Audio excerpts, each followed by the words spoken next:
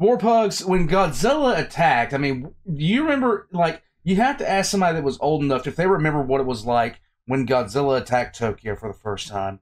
Like, everybody remembers where they were that was alive during that period of time when they realized that a giant nuclear lizard was attacking a major metropolitan. I was there in all my glory. Not really. I'm not that old. Anyhow, um, but Drachinifel is going to illuminate us on what happened when the Imperial Japanese Navy performed its last stand. Now, after the war, the Imperial Japanese Navy was pretty much torn up, but um they still tried to fight back against the beast. And I can appreciate that. Warpugs, salute to Drachinifel. He's going to be down in the comment section, well, in the comment section below. Description. I'm an idiot. Um, everyone knows this, but here's the thing, okay? When you watch this, just remember those that went so we could talk about kaijus. Okay? Just remember that. Remember, this is where it all started. And just remember, it almost came to a crashing halt when whatever was pretending to be Godzilla attacked New York and um, Ferris Bueller saved the day. God, I hated that movie. Anyhow, let's go. Let's get into it. If you don't know what I mean by that, look up the Godzilla trailer for 1999 and you will understand it was the worst would you stop trying to type the people on my computer keyboard? My work keyboard. Jesus Christ, let's go.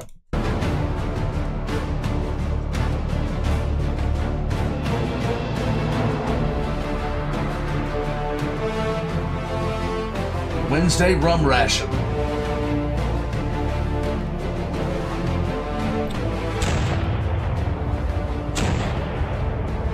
Do you feel the manliness of this? It's intense.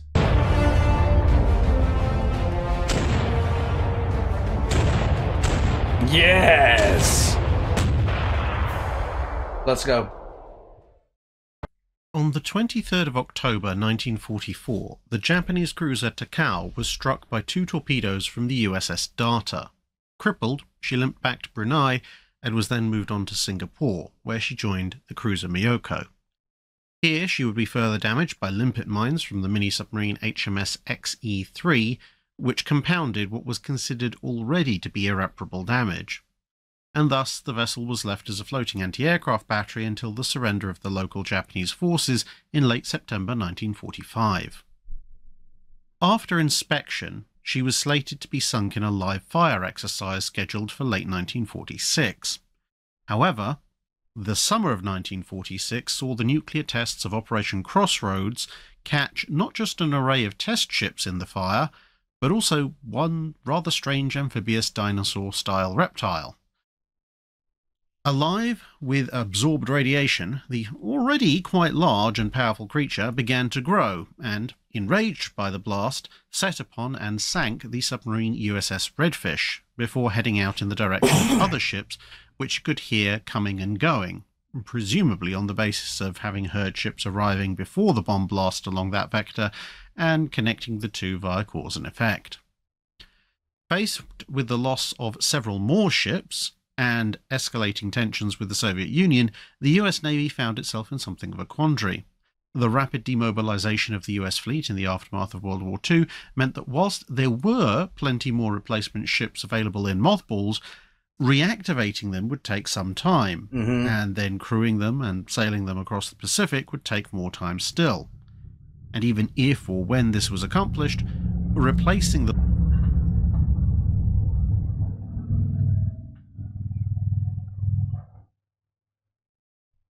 I can't wait. the losses so recently suffered in order to shore up the deterrent effect on the Soviet Union would be the wider strategic priority. Yes. Thus, whilst sharing information on the approach of what would soon to become known as Godzilla, the US Navy was not able to offer any immediate assistance to Japan to deal with the incoming threat, at least in the form of actual warships. However, Japanese officials recalled that a number of Imperial Japanese Navy warships were still around, and they appealed to the US for permission and funding to help reactivate some of them. As the US was at this point more flush with cash than ships in the Western Pacific, this was agreed. A number of ex Imperial Japanese Navy destroyers still in home island ports were allowed to be reactivated, and over in Singapore, the US saw the chance to score a triple win. Mm-hmm. There was a proposal to help pay for the accelerated repairs to the Admiralty 9 floating dry dock and King George VI graving dock, both of which had been damaged by Allied bombing in the latter part of the war. This would provide aid to an ally, the United Kingdom, whilst also meaning that the British would owe the US a favour. And we really took it out of the British for uh, World War II. I mean, a lot. It Lend-Lease cost them a lot. Let's just be honest. It would also mean that these two large, well equipped dry docks would be available for use by US Navy ships operating in that part of the world, and in the more immediate term, it would facilitate the repair of the more modern of the two ex Imperial Japanese Navy cruisers there, since Myoko had already been taken off for scuttling. Thus, Takao, previously deemed irreparable, but now possessing enough funding to make her at least vaguely operational, spent about nine months having her hull patched up, her weapons made operational, and some machinery restored to working condition.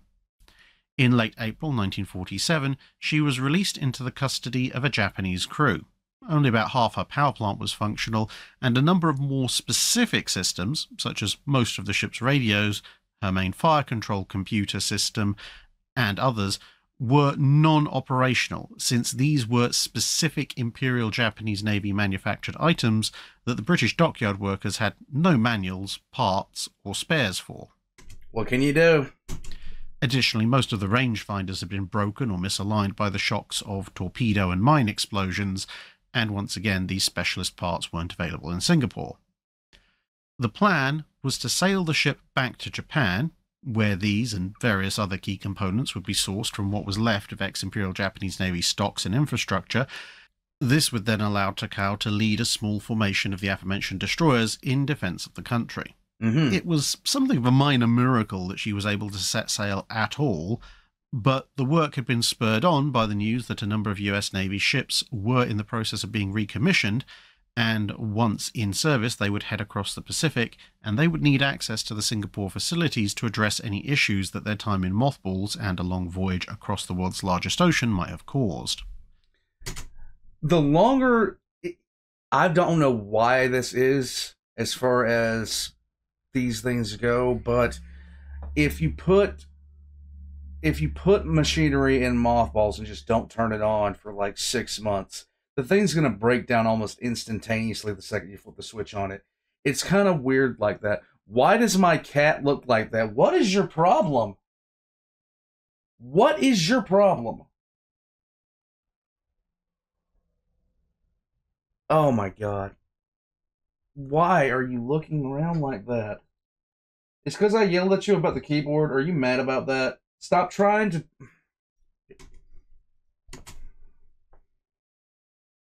Oh God! Here we go. Takao go. duly set out, but nearing the Japanese coast, her crew received signals via their remaining basic radio equipment that the Godzilla creature was somewhat ahead of schedule and was currently in the process of being engaged by a pair of small minesweepers. Mm-hmm. Proceeding at her best speed, Takao was able to witness the surviving minesweeper detonate a mine in the creature's face, and it seemed that her efforts would not be needed. However, a few moments later, the creature emerged and headed for the minesweeper once again. With a limited crew, limited radio, and no long distance central fire control, Takao's crew, already at action stations, could not inform the minesweeper of their approach, even if the smaller craft's crew w- even noticed their transmission in the middle of all the chaos. Additionally, without the benefit of central fire control and direction, or even working long distance rangefinders, long range fire from the main battery guns was far too risky. Although monstrously large for a living creature, the exposed portion of Godzilla was, at this stage at least, still a relatively small target as far as naval artillery was concerned, and of course, the friendly minesweeper wasn't too far away. and thus the cruiser closed into point blank range, allowing the guns to be effectively bore sighted using just the standard spotting scopes.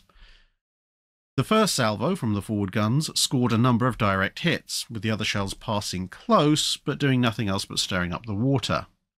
Another salvo of six 8 inch guns, as the ship heaved to port to avoid collision, appeared to fatally injure Godzilla and secure the minesweeper. Some of the crew thus rushed to the ship's starboard side to see if they could spot any remains. Unfortunately, the wounded Godzilla was now mostly underwater and very angry.